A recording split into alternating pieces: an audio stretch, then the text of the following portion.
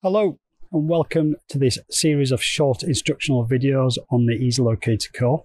My name is Mike and I'm going to guide you through some of the features and functions of the system.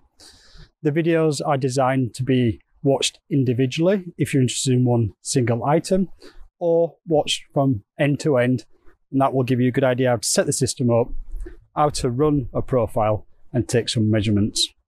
The Easy Locator Core is a culmination of many years of development and design by Guideline Geo. We've taken all this experience and, in combination with the latest technology, developed this newly designed system. Its compact size and small wheels enables it to go into very small, tight spaces, but with a combination of the rough terrain cart mini, it's able to go off road, therefore covering more areas easily and effectively.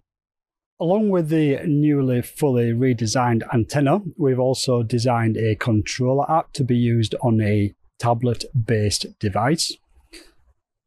This controller app enables us to utilize other features and functions and devices of the tablet, for instance, the camera.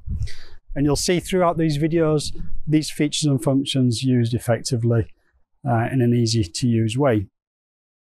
Without further ado, let me take you through some of these exciting new features and functions on the Easy Locator Core.